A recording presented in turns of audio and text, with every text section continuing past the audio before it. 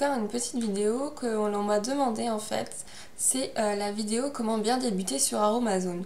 Donc moi ça doit faire un an, un peu plus d'un an que j'achète des produits chez Aromazone. Euh, j'ai commencé le 15 septembre 2012. J'ai acheté pas mal de choses, je pense qu'on est au-delà de 100 ou 150 euros de produits. Euh, bien sûr, il y a des produits que j'ai utilisés, que j'ai rachetés plusieurs fois parce que j'adore. Et il y a des produits que j'ai achetés et que je n'utilise pas ou plus parce que euh, voilà, j'ai testé ça m'a pas forcément super plu, j'en ai pas plus forcément besoin. Donc, je vais vous donner les essentiels pour les cheveux.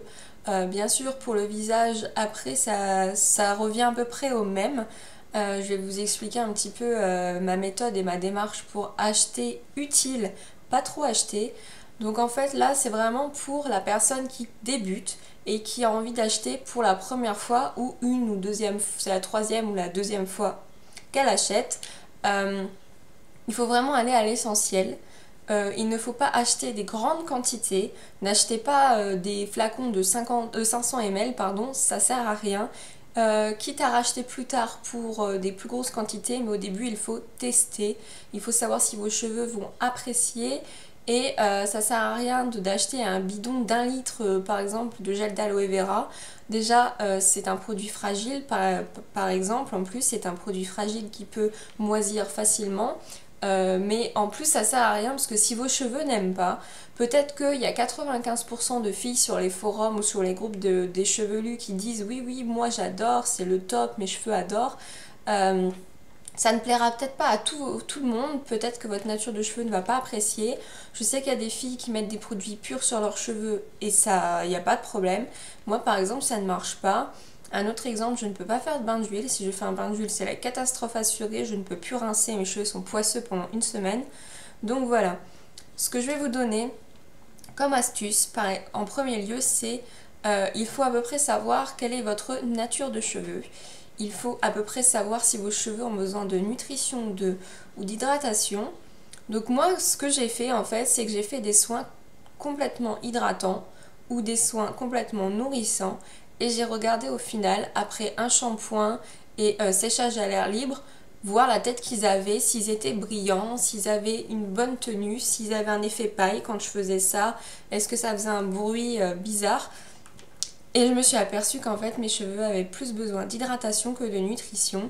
C'est pas pour autant que je ne, mets pas du tout d'agent hydratant dans mes soins, au contraire j'en mets aussi.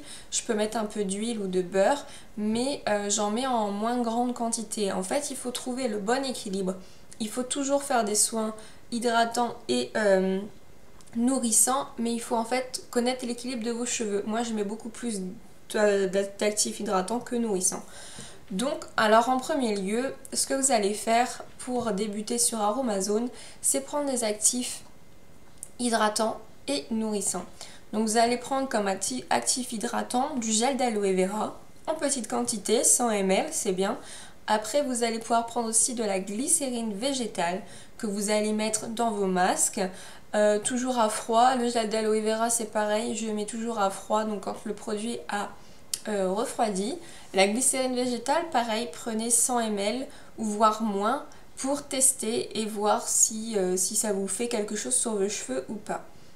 Euh, un troisième agent hydratant, ça peut être par exemple les céramides végétales, le squalane végétal ou l'oniquat.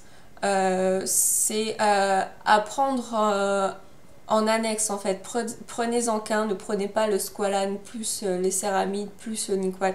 Prenez-en un des trois, celui qui vous, qui vous donne le plus envie ou celui où vous avez eu euh, le plus de de, de, euh, bénéfique où les gens ont dit ah bah oui le euh, moi ça m'a donné des beaux cheveux voilà prenez-en un des trois et comme ça bah, vous testez et vous voyez ce que vous préférez si le gel d'aloe vera vous plaît vous le racheterez vous le rachèterez plus tard en plus grosse quantité mais voilà là c'est vraiment un test. Comme ça, si euh, vos cheveux n'aiment pas tel ou tel actif, vous en avez pas beaucoup, vous pouvez le, vous pouvez quand même l'écouler assez rapidement ou le donner, mais ce sera que 100 ml, donc ce sera moins embêtant si ça ne vous plaît pas. Un quatrième actif hydratant, ce sont les eaux florales ou les hydrolats. Donc moi j'en utilise des fois pour mettre dans mes masques. Parce que c'est vrai que l'hydrolat de jasmin ou l'eau de rose, bah, ça donne une petite odeur. Et en plus, vous pouvez l'utiliser sur votre visage avec un coton le matin pour réveiller votre peau. Moi, c'est ce que je fais. Et euh, voilà, en plus, il a plusieurs fonctions et c'est assez sympa. Ensuite, ce que vous pouvez utiliser, bien sûr, ce sont les agents euh, nourrissants. Donc les agents nourrissants, c'est pareil, vous n'allez pas en prendre 150, euh, vous allez prendre deux huiles basiques. Euh, vraiment, c'est les huiles universelles, c'est l'huile de coco qui pénètre la fibre capillaire, donc forcément ce sera automatiquement bénéfique pour vos cheveux, même s'ils ne sont pas très, très copains avec les huiles comme moi. Et euh, l'huile d'avocat. L'huile de coco et l'huile d'avocat, ce sont les deux huiles que je peux mettre sur mes cheveux sans qu'ils ressortent poisseux. Euh, quand je dis que je peux les mettre sur mes cheveux, c'est presque pur en fait. Euh, après, j'utilise d'autres huiles pour faire des mélanges pour fabriquer mes masques. Mais l'huile de coco et l'huile d'avocat, ce sont deux basiques pour les cheveux secs. Et euh, ensuite, vous pouvez prendre une troisième huile, pareil en petite quantité, mais vous prenez une huile qui soit adaptée à votre type de cheveux. Si vous avez les cheveux gras, si je dis pas de bêtises, l'huile de noisette et euh, régulatrice donc normalement il n'y a pas de souci. Si vous avez les cheveux secs à très secs comme moi, vous pouvez prendre l'huile du noix du Brésil, par exemple, ou celle d'oléine de karité. Et si vous avez les cheveux normaux, vous pouvez prendre une huile plus basique comme de l'huile d'olive, de l'huile d'avocat. Il euh, n'y a pas de problème en fait. Euh, mais vraiment, euh, moi, l'huile vraiment que j'adore pour mes cheveux qui sont secs à très secs, c'est l'huile d'avocat. Ensuite, vous pouvez prendre un beurre aussi qui est nourrissant. Donc le beurre, comme ça, vous pouvez en prélever un tout petit peu et le mettre le soir sur vos pointes. Si vous avez les cheveux secs à très secs, c'est plus pratique que de l'huile parce que de l'huile, des fois, on en met trop, ça fait vraiment aspect brillant. Moi, le beurre, beurre de karité, j'en prends un tout petit peu et j'étale sur mes cheveux le soir. Quand je sais qu'il va faire froid, là, je commence déjà parce que euh, octobre, novembre, décembre, euh, je trouve que c'est bien de prévenir parce que mes cheveux vont s'assécher assez vite avec le froid. Donc voilà, vous pouvez prendre un beurre. Le must-have, c'est le beurre de karité. Euh, si ça ne vous plaît pas ou si vous en voulez un avec une odeur, vous pouvez prendre euh, le beurre d'avocat pardon, euh, qui a une, odeur un peu avocat. Il est sympa aussi, mais le, enfin, le basique pour commencer, le beurre de karité, il est très bien. Et après, vous pourrez changer. Ils en ont fait plusieurs. Il y a le beurre d'amande que je n'ai pas encore testé, le beurre à l'olive aussi que je n'ai pas testé, beurre d'avocat, beurre de mangue, beurre de karité. Je crois qu'ils font des baumes aussi où ils mélangent euh, avec des odeurs vanille coco. Donc voilà, vous prenez un beurre en plus et c'est top. Ensuite, euh, si vous voulez commencer à faire vos produits pour vos cheveux, euh, du style shampoing après shampoing ou masque. Il vous faudra donc un émulsifiant conditionnant. Donc moi pour ma part j'ai pris le BTMS mais il y en a des autres. Vous pouvez aller voir, il y a des cires émulsifiantes, il y a de l'olivem, euh, il y en a plusieurs. Avec le BTMS, vous allez pouvoir créer des émulsions, donc phase huileuse euh, avec les huiles, le beurre et phase aqueuse, euh, hydrolat, gel d'aloe vera, etc. Vous allez pouvoir faire une émulsion et créer une crème plus ou moins crémeuse, fluide ou pâteuse selon les quantités de BTMS que vous allez mettre. Et comme ça, en fait, vous allez pouvoir créer des masques et des après-shampoings. Si vous voulez créer un shampoing, il vous suffit d'acheter la base neutre, euh, une base lavante neutre que Aromazone euh, vend en 250 euh, ml jusqu'à 1 litre, je crois, ou voire même plus en bidon, j'ai déjà vu. Donc voilà, vous avez juste ensuite à ajouter des actifs, un, petit peu de BTMS si vous voulez un shampoing plus crémeux et bien sûr, vous allez acheter un conservateur pour pouvoir garder vos produits de 3 à 6 mois. Euh, moi, le conservateur que j'ai pris, c'est le Cosgar parce que vous pouvez mettre dans tout. Et il euh, n'y a, pas de souci avec ce conservateur. J'ai toujours gardé mes produits euh, jusqu'à 4 mois sans problème, sans qu'ils moisissent, sans qu'ils qu tournent, etc. Et ensuite, vous pouvez acheter des actifs annexes selon votre nature de cheveux. Euh, si vous avez besoin, je ne sais pas, si vous avez un problème de pellicule, de chute de cheveux, vous pouvez prendre certaines huiles essentielles qui sont bonnes pour ça. Si vous avez les cheveux vraiment cassants, c'est pareil. Vous avez des actifs vraiment... Euh, euh, vous avez des actifs vraiment spécifiques pour ceci.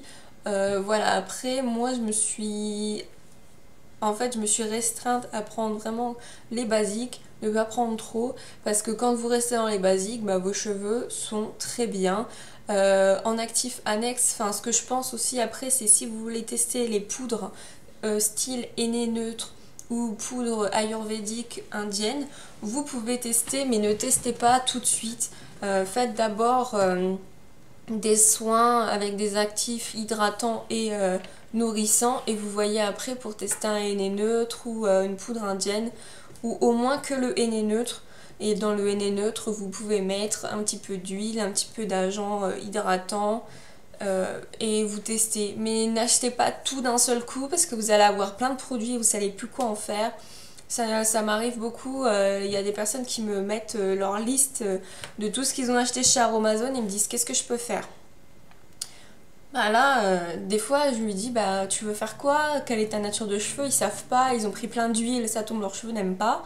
Donc euh, voilà, partez à l'essentiel et faites euh, des tests au fur et à mesure et voyez ce que vos cheveux préfèrent ou pas.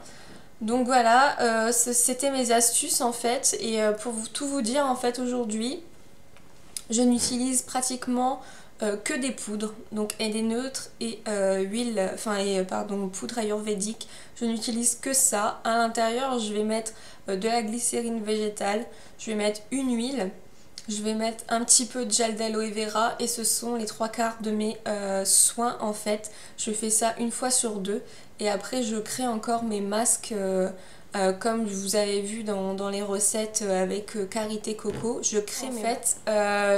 j'ai utilisé beaucoup de produits Aromazone, j'ai fait beaucoup de choses, mais je me restreins de plus en plus parce que je m'aperçois qu'il y, a il y, a, que certaines huiles et certains agents hydratants qui plaisent à mes cheveux. Donc en fait, bah, pour tout vous dire, je suis en train de me restreindre et de finir certains produits que je ne rachèterai plus. Et pour moi, mes basiques et ce qui va me rester pour tout le temps, ce seront le neutre. Ce sera aussi les poudres, euh, les poudres indiennes. Et ensuite, comme agent hydratant, je prends de l'aloe vera, de la glycérine végétale, du miel. Euh, et ensuite, euh, je prends comme huile vraiment que j'aime beaucoup, c'est l'huile d'avocat et l'huile de coco et l'huile de noix du Brésil pour mes cheveux. Et c'est tout. Euh, quand j'aurai fini mon BTMS, je ne ferai plus de masques, euh, je ferai vraiment que des masques aux poudres euh, et j'adore en fait ce que ça donne au niveau des cheveux. Après je fais des masques vraiment masques minutes, je prends un œuf, un yaourt, ce qu'il y a en fait dans mon frigo pour des fois changer et ne pas prendre tout le temps les poudres pour pas tout le temps que mes cheveux ont tout le temps le même soin pour varier un peu. Mais voilà, j'ai testé beaucoup de choses sur Aromazone et en fait, euh, euh, moi je m'aperçois qu'il n'y a pas 50 euh, milliards de choses qui font du bien pour mes cheveux et je pars sur 5 produits limite. Donc voilà, c'était ma petite astuce pour vous aider à bien débuter sur Aromazone. Après, si vous voulez vraiment plus de renseignements si par exemple vous avez des cheveux très secs comme moi, ou si vous avez des pertes de cheveux, etc. et que vous voulez euh, certains euh, vraiment produits spécifiques pour vos cheveux, n'hésitez pas à me demander en commentaire ou sur ma page Facebook et je vous expliquerai quel soin ou quel actif sera le mieux pour vos cheveux. Donc, voilà, c'était mes astuces pour euh, bien débuter sur Aromazone. J'espère que ça aura répondu à la question de la personne qui m'avait dit de faire cette vidéo. Euh, si vous avez besoin de plus de détails, si vous avez vraiment euh, des problèmes spécifiques par rapport à vos cheveux et que vous voulez savoir quels actifs sont les mieux pour vous, n'hésitez pas à me le dire en commentaire ou venir me voir sur Facebook. Il n'y a pas de problème, ça me fera plaisir de vous répondre et de vous éclaircir au niveau bah, de, de, ces questions-là. Euh, moi, ça, ça, me fait vraiment plaisir de venir vous aider et euh, de pouvoir répondre à vos questions. Ça me fait vraiment plaisir aussi qu'il y ait de plus en plus d'abonnés et qu'il y ait de plus en plus de commentaires. Ça fait vraiment plaisir de, de, voir que vous me suivez et que vous aimez ce que, ce que je fais.